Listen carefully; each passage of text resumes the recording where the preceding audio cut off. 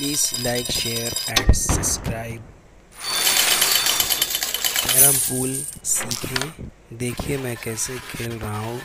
स्टागर कहाँ रखकर, किस गोटी को कैसे शूट कर रहा हूँ, उसी तरह आप लोग देखकर सीख सकते हैं। Please subscribe.